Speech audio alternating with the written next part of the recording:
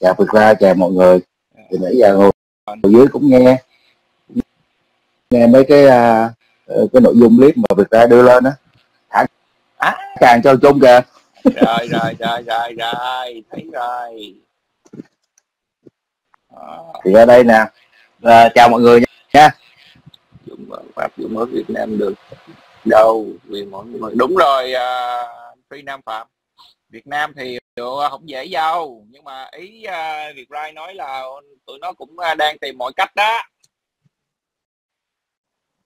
Đang nói đến Phương Rai hả? Đúng rồi đúng rồi.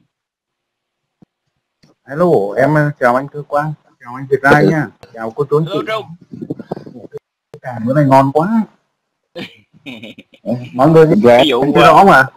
nghe rõ luôn. Rõ. Rất là rõ. Nghe ngon lành cũng ráng đu đeo cũng ráng đu đeo cho cũng ráng đu đeo cho bằng anh bằng em rồi ha. Giữ dằn thiệt cái ta. Vụ này hot quá. Bỏ, bỏ cái phanh ra để nói miệng không cho nó dễ. Đúng rồi. Rồi mời chung chia sẻ trước. Ok thì à, cái cái này á là anh em mình cũng đã chia sẻ cũng tương đối là nhiều rồi. Và cái câu phát biểu của cái cái cái chị gì đó chị chị gì mà chủ tịch của Fulbright á thì cũng không phải mới đây diễn ra. Ừ, đó. Mà nó diễn ra cũng gọi là cũng tương đối lâu và cũng có thấy à, nhiều anh em là cũng đã chia sẻ về nội dung này rồi. Thế nhưng mà thời gian gần đây thì nó lại nóng lại. Nóng lại tại sao lại nóng lại? Thì chúng ta theo dõi cái tình hình à, trên thế giới chúng ta thấy là các nước gần đây ví dụ như là Myanmar hay Bangladesh ấy, thì chúng ta thấy được, được cái cái cái âm mưu rồi cái phương thức cái thủ đoạn của cái uh, hoạt động diễn biến hòa bình là nó diễn ra rất là nhiều nơi trên thế giới. Thì uh, trong đó có những khu vực ở châu Á thậm chí là ở Đông Nam Á.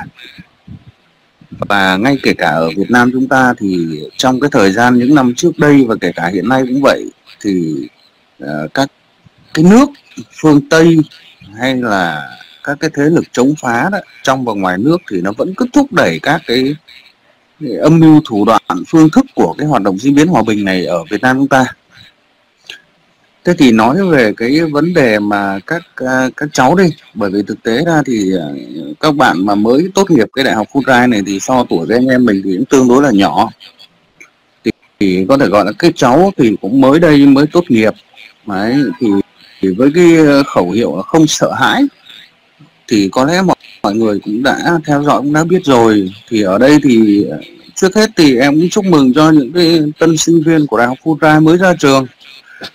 Thì cũng hy vọng là các bạn ấy áp dụng được những cái kiến thức mà các bạn được học trong cái ngôi trường quốc tế à, được à, cái sự hợp tác của giữa chính phủ Mỹ và Việt Nam trong cái vấn đề đào tạo học sinh sinh viên, thì hy vọng là các bạn ờ, tiếp cận được với những cái ờ, được gọi là cái văn hóa khai phóng đó. thì khi các bạn tốt nghiệp thì các bạn ra, các bạn đem cái ờ, tài năng, đúng không ạ cái kiến thức của các bạn áp dụng trong mọi cái cái lĩnh vực nhằm phát triển cái kinh tế xã hội cho Việt Nam chúng ta nhưng mà dĩ nhiên là em, sẽ không hy vọng là các bạn ấy sử dụng vào để mà thực hiện các cái phương thức hoạt động diễn biến hòa bình. Và cái điều này em không hy vọng và cũng không mong muốn xảy ra. Đấy và cũng cũng cũng em cũng chưa áp đặt và cũng chưa khẳng định là các bạn ấy sẽ thực hiện. Đấy, thế nhưng mà không phải là đến khi các bạn này ra trường thì mới có những cái thông tin ồn ào hay là có những cái vấn đề này vấn đề kia liên quan đến vấn đề chống phá Việt Nam chúng ta mà các đối tượng khác cũng đã từng tham gia vào các tổ chức khủng bố của Việt Tân hay của Đào Minh Quân vân vân cả thì cũng chống phá nhà nước và cũng đã có những cái hình thức xử lý thích đáng theo quy định của pháp luật rồi. Chứ không phải đến khi các bạn này ra đời thì mới có những uh, câu hỏi đặt ra về cái vấn đề mà trong quá trình đào tạo. Ờ, thì dĩ nhiên là trong ờ, cái việc đào tạo thì anh em chúng ta đều không học ở trong cái ngôi trường đó thì chúng ta không thể biết được là quá trình đào tạo học sinh sinh viên của trường đó như thế nào. Và người ta định hướng tư tưởng cho sinh viên ra làm sao. Đấy, thế nhưng ở đây chúng ta muốn nói đến cái vấn đề là cái phát biểu của cái vị chủ tịch của cái trường đó. Thì có lẽ là trước hết thì ờ, nếu mà nói về cái diễn biến hòa bình thì chúng ta nghe cái khái niệm nó có từ lâu rồi đấy đặc biệt là sau vào những năm ờ, 40 đấy sau chiến tranh thế giới thứ hai đấy đặc biệt là trong thời kỳ chiến tranh lạnh ờ, thì cái diễn biến hòa bình này nó được thúc đẩy rất là nhiều. Đấy và đối với uh, diễn biến hòa bình trước đây thì người ta chủ yếu người ta tập trung uh, đặc biệt là chủ nghĩa đế quốc của phương tây người ta tập trung vào các nước xã hội chủ nghĩa ngày đó là đứng đầu là liên xô. Đấy, thế nhưng về sau này và đến ờ, thời điểm hiện nay thì cái chiến lược diễn biến hòa bình này người ta không chỉ áp dụng đối với lại các nước xã hội chủ nghĩa mà kể cả đối với những nước mà mà mà mà gọi là cứng đầu cứng cổ ấy, có được khuynh hướng mà phát triển ờ, theo con đường xã hội chủ nghĩa hoặc là ờ, đi ngược lại với cái giá trị cái lợi ích của phương tây thì người ta sẽ sẽ tiến hành ở nước đó thôi. Đấy, chứ không có nhất thiết là cứ phải là các nước xã hội chủ nghĩa đâu. Đấy, thế nên là à, nếu mà cô chú anh chị có thể là tìm hiểu thêm nếu mà muốn à, hiểu rõ hơn về cái chiến lược diễn biến hòa bình ấy thì, thì trên à, không gian mạng thì chúng ta theo dõi thì có rất nhiều thì có thể tìm hiểu đọc cái quyển sách mà hỏi đáp về chiến lược diễn biến hòa bình và cách mạng màu đấy của nhà xuất bản à, chính trị quốc gia. Thì trong đó thì, thì người ta nêu rất là rõ từ khái niệm, phương thức, thủ đoạn rồi về các cái vấn đề về kinh tế, văn hóa, xã hội, chính trị, quân sự, ngoại giao. Thì người ta chống như thế nào? Thì lúc đó là chúng ta sẽ hiểu rõ hơn rõ hơn. Và đặc biệt là các cái bài phân tích của các cái giáo sư, tiến sĩ của các cái trường, thì chúng ta càng hiểu rõ hơn nữa về các cái lĩnh vực mà cái chiến lược diễn biến hòa bình nó tác động. Đấy, thế nhưng em thì không phân tích sâu ở cái cái cái cái nội dung này. Mà em chỉ muốn nói là à, chúng ta có thể nghiên cứu để chúng ta hiểu rõ hơn. Chứ nếu mà em mà nó khái quát hoặc là theo sách vở hay là à, theo không gian mạng thì các bạn này bảo là chỉ chúng ta dập khuôn máy móc theo cái thế này thế nọ vân vân đúng không ạ? Thế thì à, chúng ta vừa kết hợp đọc tài liệu à, cộng với lại các cái à, diễn biến gần đây thì các bạn có thể tự đưa ra cái ờ, suy luận cũng như quan điểm của mình về cái vấn đề này. Thế nhưng mà ở đây em ờ, tại sao em lại đề cập như thế? À, trước hết là chúng ta nói về cái vấn đề chiến tranh ở Việt Nam chúng ta. À, thì từ cái thời kỳ mà xa xưa đến thời kỳ phong kiến thì Việt Nam chúng ta cũng trải qua cái chiều dài lịch sử 4.000 năm rồi hơn 4.000 năm văn hiến thì cũng đã có rất nhiều các cái cuộc chiến uh, của Việt Nam chúng ta để chống lại các cái thế lực ngoại xâm. Đấy, hàng uh, đặc biệt là những cái cuộc chiến mà chống lại giặc phương Bắc hay còn ở Trung Quốc đấy trong thời kỳ phong kiến và đến năm 79 ở Trung Quốc đấy. Rồi là chống Mỹ uh, chống Pháp đúng không ạ? Rồi là Nhật vân vân cả. Để chúng ta có được Việt Nam như ngày hôm nay. Thì nhân tiện cái câu cái, cái, cái câu chuyện chia sẻ của cái chị Thủy đấy với cái phóng viên đấy thì em chỉ đặt ra một cái câu hỏi như hôm trước em đã nói. Đất nước Việt Nam chúng ta và Mỹ trước hết là không có mâu thuẫn gì với nhau đúng không ạ? Không ảnh hưởng gì đến lợi ích của nhau. Và Việt Nam chúng ta cũng không phải là cái nước mà đưa quân sang xâm phạm bờ cõi hay là ờ, đe dọa an ninh của nước Mỹ. À, cũng không phải là cái nước mà mà mà, mà đem bom đạn hay là chất độc màu da cam sang nước Mỹ và cũng không có đưa quân sang để giết hại người Mỹ. Cái điều đó là chúng ta có thể khẳng định và thế giới cũng đã nhìn thấy. Thế thì chả có lý do gì nước Mỹ lại đưa quân sang đúng không ạ?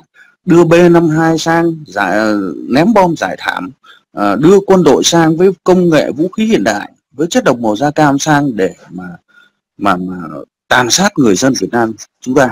Thế thì ở đây đó à, lịch sử là chúng ta nhìn nhận theo góc độ nào? Dĩ nhiên người Mỹ người ta sẽ không dạy cho sinh viên người ta là ở uh, tao là uh, ngày xưa lịch sử cha ông chúng ta là cứ mang quân sang đấm nước này ừ, giết nước kia rồi cướp giết hiếp các cái nước đó để chúng ta thu thập tài nguyên rồi đặt cái ách thống trị hay là quyền đô hộ ở các quốc gia đó để chúng ta uh, duy trì cái bá quyền thế giới. Người ta không dạy như thế. Và người ta cũng không dạy là ngày xưa là ở Việt Nam là uh, cha ông chúng ta là đưa uh, bom B52 rồi bom uh, sang để giải thám. Và cũng không bảo uh, chúng ta đưa chất độc màu da cam sang để giải thám trong đất nước Việt Nam. Rất rõ ràng là không bao giờ người ta nói câu chuyện đó. Và người ta cũng không bao giờ người ta nhận là là người ta đã thất bại trong chiến tranh Việt Nam. Thế nhưng mà ở đây, đây chúng ta nói cái vấn đề là lịch, lịch sử là lịch sử. Và lịch sử chỉ có, có một. Các anh không thể vẽ tô vẽ lịch sử. Các anh cũng không thể viết lại lịch sử, các anh cũng không thể tẩy trắng lịch sử. Đấy. hoặc là diễn giải lịch sử theo một cái quan điểm cá nhân được. Đấy. lịch sử là lịch sử. Và cái nền tảng của một cái dân tộc nó xuất phát từ đâu, đúng không ạ? Chúng ta cứ nói là lòng yêu nước hay gì kia, nhưng mà cái cái lòng yêu nước đấy nó được hun đúc tự, hun đúc từ đâu? Từ thế hệ cha ông để lại. Thì cái đó nó là gì? Đó là lịch sử. Mà lịch sử nó là nền móng của một dân tộc thế bây giờ tự dưng cái cái cái, cái lịch sử đấy thì các anh định diễn giải hay là các anh định truyền đạt cho sinh viên theo cái hướng như thế nào? À, đúng không ạ? Và tại sao lính mỹ lại có mặt tại việt nam? Đấy. Tại sao lính mỹ lại có mặt tại việt nam? Thứ nhất là việt nam không yêu cầu việc đó đúng không ạ? Bởi vì cái vấn đề trong nước việt nam đó là thuộc vấn đề nội bộ.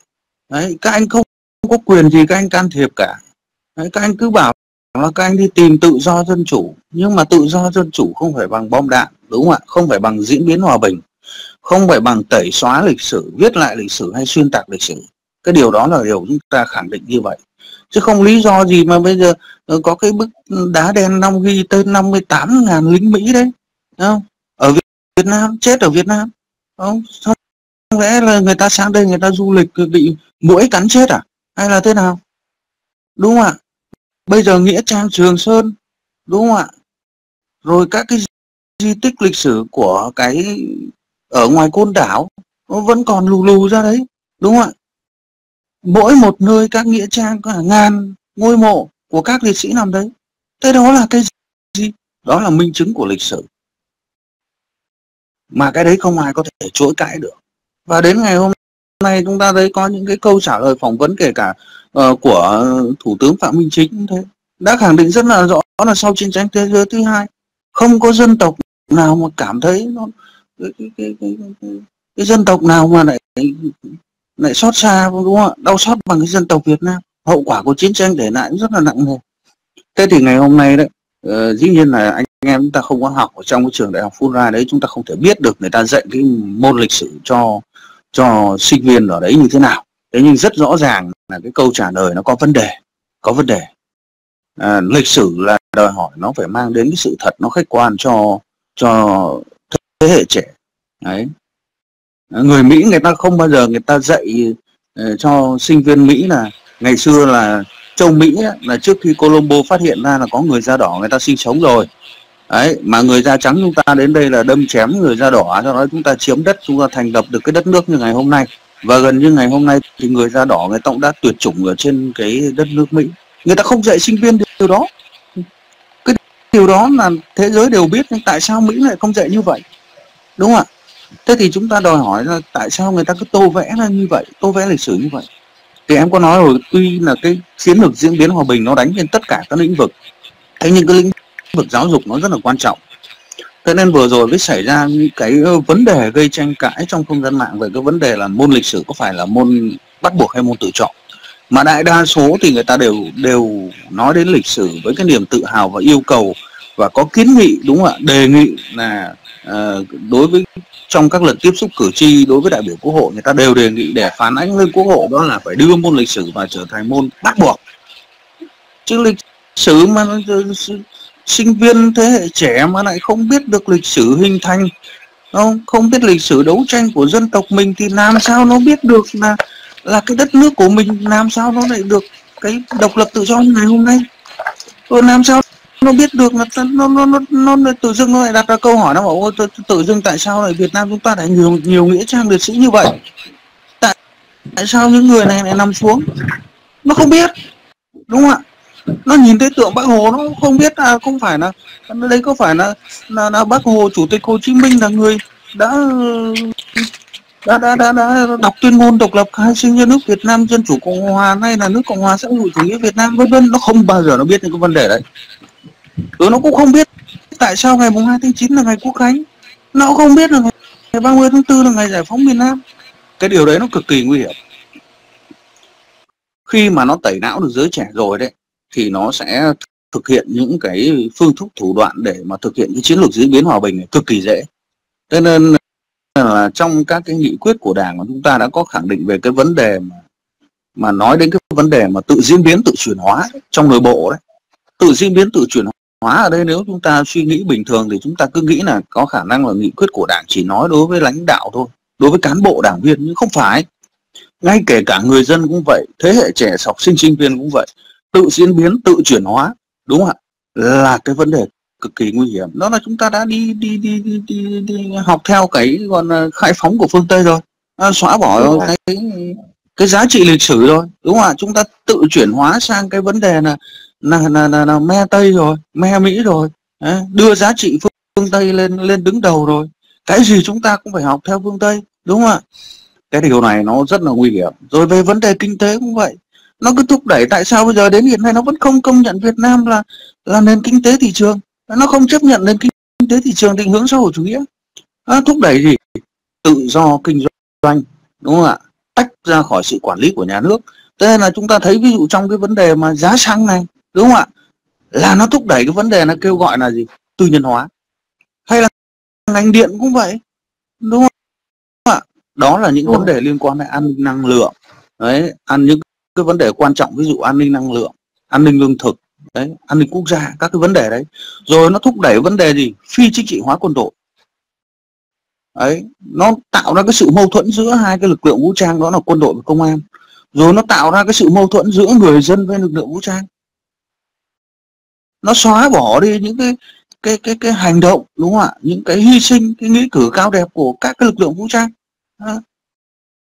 Rồi là về cái vấn đề văn hóa cũng vậy đúng không ạ? Du nhập những cái văn hóa ngoại lai ấy, phương tây mà nó mang tính chất phi truyền thống nó thúc thúc đẩy cho những cái gọi là cái cái cái văn hóa nó phương tây mang giá trị phương tây.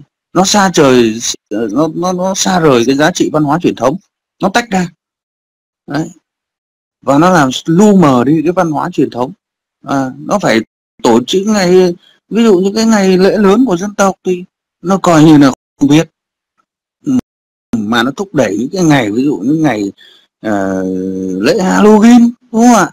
Đấy nó cũng không phải là là cái lễ truyền thống của người Việt Nam hay là những ngày lễ khác của phương Tây thế. Dĩ nhiên là uh, chúng ta có hội nhập.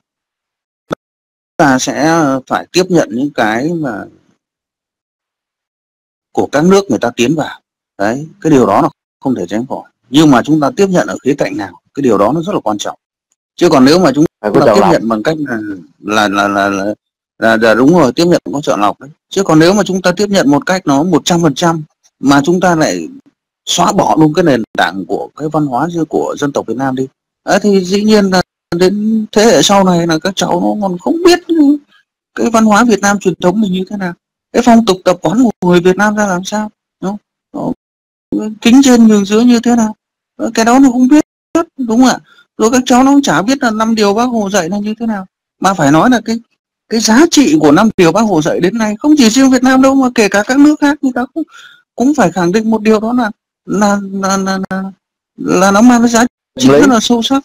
Thế nhưng mà ngược lại thì nó không thừa nhận đúng không ạ? Và nó không giáo dục cho thế hệ trẻ. Ờ, người Việt Nam mà không biết yêu tổ quốc yêu đồng bào thì chết rồi. Đấy. Học tập tốt lao động tốt đoàn kết tốt kỷ luật tốt giữ gìn vệ sinh thật tốt khiêm tốn thật thà dũng cảm. Những cái điều đấy là là bây giờ đến giá trị bây giờ.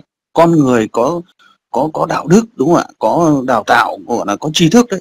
Thì có đạo đức có tri thức có tâm có tầm thì ai mà chả chả phải trải qua những cái điều như vậy thì mới trưởng thành được mới trở thành con người được đúng không? Thế nhưng mà nó nó xóa bỏ đi. Nó không dạy điều đấy. Đấy. Nó không không, không nhắc đến. Thì thế hệ sau này chúng ta là nó mất gốc chúng ta, ta cứ phải nói là nó rút củi đáy nồi đấy có nghĩa là thế hệ nó mất gốc. Mà nó mất gốc rồi thì lúc đấy nó giống như Bangladesh ngày hôm nay thôi. Nó giống như Bangladesh ngày hôm nay thôi. Chúng ta thấy bây giờ là trên không gian mạng đấy là tràn lan cả các cái hình ảnh của sinh viên. Đặc biệt nó đưa những cái cái, cái, cái cô phụ nữ mà lại có tí nhân sắc tí nữa đúng không ạ?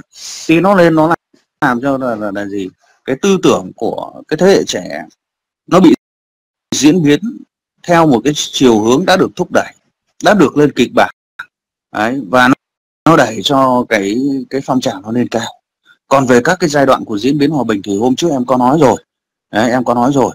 Chứ nó có trải qua các cái giai đoạn về đánh phá như thế nào và mọi người cũng có thể nghiên cứu thêm đúng không ạ? Nó rất là nguy hiểm đấy chứ không phải là đơn giản đâu. Thế nên là uh, đối với cá nhân em thì em không có đánh giá gì đối với cái các bạn học sinh sinh viên mới tốt nghiệp ra trường của đại học Fulbright và em chỉ hy vọng là các bạn ấy mang những kiến thức đã học được đi ra để ra đời đúng không ạ? Để tiếp cận với cuộc sống thực tế để bắt đầu à, một trang à, sử mới trong cái cuộc đời mình thì mang những kiến thức đã học được đó để áp dụng để phát huy để đóng góp mà cho cái việc phát triển kinh tế xã hội của đất nước. Chứ các bạn đừng mang những kiến thức học được ra để các bạn thực hiện những cái vấn đề mà đi ngược lại với lợi ích quốc gia dân tộc, đi ngược lại với cái sự hy sinh xương máu của thế hệ cha anh. Không các bạn đừng có hô to khẩu hiệu không sợ hãi. Ờ, các bạn không sợ hãi đối với những cái va vấp của cuộc đời, không sợ hãi đối với những khó khăn biến cố của cuộc sống đúng không ạ? Không sợ hãi đối với những cạm bẫy trong quá trình phát triển thì các bạn uh, áp dụng để các bạn tiến lên các bạn trưởng thành không? các bạn xây dựng đất nước phát triển thì em hết sức quan nghênh. Chứ các bạn đừng mang khẩu hiệu không sợ hãi để chống lại chính quyền uh, chống lại đảng chống lại nhà nước. Uh, em không hy vọng điều đó, đó xảy ra. Uh, dĩ nhiên là uh, chúng ta phải phải phải thừa nhận là quá trình đào tạo của các nước không phải là người ta không tốt. Thế nhưng mà có áp dụng được vào Việt Nam hay không thì chúng ta lại phải nhìn lại và nhìn lại cả một quá trình. À, nhìn lại có các cuộc thi của học sinh sinh viên trên các cái môn học ví dụ toán lý hóa thi thi Olympic chẳng hạn đúng không ạ? Rồi là nhìn lại cái sự đóng góp của những cái giáo sư tiến sĩ đã từng học ở các cái nước tiên tiến trên thế giới về đóng góp cho Việt Nam như thế nào thì ờ, liên quan đến trường đại học Fulbright này ngày hôm nay em có đọc một cái bình luận. Bạn ấy cho rằng là Việt Nam chỉ là tiến sĩ giấy thôi đấy chứ không thể như nước ngoài được. Thì em có đặt một câu hỏi cho bạn ấy là bao nhiêu giáo sư tiến sĩ đã học ở các trường đúng không ạ nổi tiếng của các nước trên thế giới về đóng góp cho Việt Nam phát triển? Hay là đất nước Việt Nam ngày hôm nay là nhờ gì ạ? Nhờ sự hy sinh xương máu của uh, các thế hệ cha anh rồi là, là, là, là các qua các thời kỳ của các lãnh đạo của Việt Nam ấy chứ. Cơ bản là người ta được đào tạo ở trong nước và uh, ở Liên Xô trước đây và các nước Liên Xô và các nước Đông Âu đúng không ạ? Thì chúng ta thấy chúng ta thấy thôi. Thế là cái giá trị này nó nó, nó mang lại ấy, thì em chưa đánh giá. Giá trị đến đâu như thế nào thì em chưa có đánh giá và em cũng không dám khẳng định là các bạn được đào tạo ra là các bạn sẽ chống phá nhà nước. Đấy, thế nhưng mà em đặt ra một cái câu hỏi đối với cái phát biểu của cái cái cái bà chủ tịch đó uh, trên một cái cương vị dĩ nhiên là so trình độ tiếng Anh mà phát biểu như thế thì trình độ của bà là hơn em rồi. Em khẳng định cái điều như thế. Thế nhưng mà cái việc phát biểu như thế bản thân bà là người con của Việt Nam đúng không? Bà sinh ra trên đất nước Việt Nam này. Với cái độ tuổi như vậy thì không thể là bà không biết được. Và bà đừng có nói là bà không bao giờ bà đến các nghĩa trang liệt sĩ hay là chưa bao giờ đi qua một nghĩa trang liệt sĩ nào. Đấy thì thử hỏi hỏi là lý do tại làm sao người Mỹ này mang bom đạn sang đây? Lý do tại làm sao Mỹ lại mang chất độc màu da cam sang đây? Không lẽ người dân Việt Nam mà chỉ phải đứng chịu trận do lính Mỹ người ta đánh rồi à? Hả? Người ta mang quân sang đây người ta đánh ta thì ta phải đánh lại chứ. Cái điều đó là hết sức dễ hiểu chứ. Tại sao lại đặt ra những cái, cái câu hỏi nó ngớ ngẩn như vậy? Em nói thật trình độ thì em nghĩ là cao đấy nhưng mà đặt trả lời cái câu hỏi mà nó nó, nó rất là ngớ ngẩn và tư duy nó rất là thiển cận. Em dám khẳng định như vậy. Bởi vì chúng ta nhìn lại cả một quá trình lịch sử dân tộc Việt Nam chúng ta là gì? Là một đất nước mà rất yêu chuộng hòa bình. Chúng ta có đem quân đi chúng ta đánh nước nào đâu? Đúng không ạ? Trừ cuộc chiến gọi là là là là, là, là chống lại cái cái Pol Pot. cái bọn Pol Pot Ieng Sari đấy. Nó mang quân sang nó chém đầu của người dân Việt Nam chúng ta ở khu vực ví dụ như An Giang các thứ đấy. Chúng ta bây giờ có viện bảo tàng đấy. Ngay kể cả ở. Campuchia bây giờ nó cũng đầy đấy. Thì các bạn có thể tìm hiểu. Đúng không ạ? Và với sự gọi là kêu gọi uh, giúp đỡ của của của của ông Hun Sen phải đúng không ạ? Của, uh, đấy nhân dân Campuchia. Đấy chứ còn lại thì Việt Nam mà chúng ta sau khi chúng ta giúp đỡ anh em Campuchia xong Đấy, ổn định nhà nước ổn định đất nước xong là chúng ta rút quân về. Chúng ta đâu có can thiệp vào công việc nội bộ Campuchia. Chúng ta đâu phải là cái nước chỉ đạo giật dây cho Campuchia đâu. Thì cái điều đó ai cũng có thể hiểu được ai cũng có thể nhìn thấy. Và bản thân vừa rồi tòa án quốc tế cũng đưa cái cái cái, cái bọn diệt chủng Pol Pot Ihansari để xét xử về về cái hành vi diệt chủng mà. Đúng không ạ? Thế nên đồng nghĩa với việc là quốc tế đã thừa nhận cái vấn đề là chiến công của quân đội nhân dân Việt Nam trong cái vấn đề giúp đỡ nhân dân Campuchia chống lại cái chế độ diệt chủng Pol Pot Ieng cái điều đó ai cũng nhìn thấy được không hiểu sao mà với một người có học có trình độ đúng không ạ? Ở một cái vị trí như vậy mà lại trả trả lời cái câu phỏng vấn nó về góc độ lịch sử về cái vấn đề hy sinh của của các cái người mà mà mà thương binh liệt sĩ của Việt Nam như vậy nó rất là vô cảm đúng không ạ? Nó rất là vô cảm. Thà như là nếu mà chị không phải là người Việt Nam chị không nói tiếng Việt chị không sinh ra ở Việt Nam uh, thì chị có thể mơ hồ chị nói thì ok mình có thể nghe mình có thể bảo ờ, thôi thì chị không biết là như thế nào đúng không ạ? Chị có thể là chị từ nhỏ chị sinh sống ở phương Tây chị đọc toàn lịch sử của phương Tây cho nên là chị có cái góc nhìn theo cái cái cái cái mà chị đã được học. Thế nhưng bản thân chị sinh ra và và và, và, và, và học tập như ở Việt Nam chị lại trả lời cái câu hỏi của phóng viên mà lại nói về cái vấn đề mà là phải diễn giải lịch sử theo các cái góc nhìn rồi là theo cái năng kính rồi theo cái góc độ rồi này cảm thấy rất là đau xót khi mà nhìn thấy cái lính Mỹ người ta như thế. Ai bắt lính Mỹ người ta sang đây? Cái, chị có bao giờ chị đặt trong đầu câu hỏi như vậy không? Một người có ăn có học thì phải phải dĩ nhiên phải hiểu cái đó chứ ai bắt lính Mỹ sao đây? Chả ai bắt cả. Đúng không ạ? Lính Mỹ người ta tự sang. Chị có thấy đau xót cho lính Mỹ ở các nước như Afghanistan các thứ không? Người ta cũng chết đầy như đấy. Tự dưng mang quân sang đất nước người ta đúng không ạ? Giết hại đồng bào người ta xong bắt đầu nó vơ vét tài nguyên. Xong rồi bảo nó, nó, nó, nó, nó đau xót đau xót cái gì? Đối với cá nhân em, kể cả bây giờ diễn ra thì người dân Việt Nam vẫn có những hành động như vậy và đều mang giá trị chân lý cả.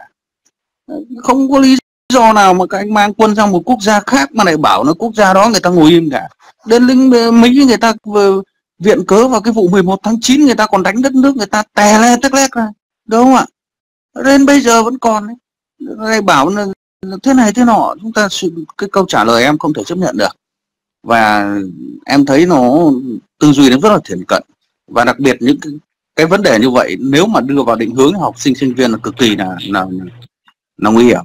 Sẽ làm cho những các bạn sinh viên đấy bạn đã ờ, không được ừ, giáo dục một cách nó đúng đắn khách quan về lịch sử thì nó sẽ là mầm mống mầm mống để sau này ờ, giật tượng đấy ờ, giật tượng đập đổ tượng phá bỏ các ừ, nghĩa trang liệt sĩ nó giống như các nước nó đã diễn ra. và cái chiến lược này thì dĩ nhiên em khẳng định là không phải là, là, là một ngày hai ngày một năm hai năm mà nó sẽ là 10 năm 10 năm 15 năm 20 năm sau. Giống như Bangladesh hay là các nước khác cũng vậy thôi. Và ngày hôm nay đấy, các bạn phải nhìn thấy cái hình ảnh của các cái cháu mười mấy tuổi ở bên Myanmar thôi không? Khẩu súng AK đeo sau lưng mà mà mà mà mà mà cái cái cái cái cái nòng súng ấy à, vác không nổi mà cái nòng súng nó còn kéo quá dài cái đầu gối của các cháu ấy thì các bạn mới hiểu được cái giá trị hòa bình nó như thế nào. Chứ còn bây giờ các bạn sinh ra vào cái thời kỳ các cháu sau sinh ra vào thời kỳ sau này ấy không? Ăn mặc thì không thiếu gia đình chăm lo được đào tạo bài bản học hành tử tế nhưng đừng có thiếu kiến thức là được.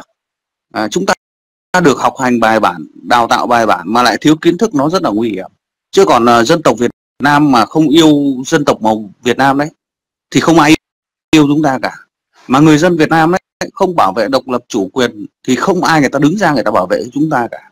Không ai người ta đứng ra người ta bảo vệ cả. Chúng ta đừng có trông chờ vào bất kỳ một cái thế lực nào hay một quốc gia nào người ta đứng ra người ta bảo vệ chúng ta.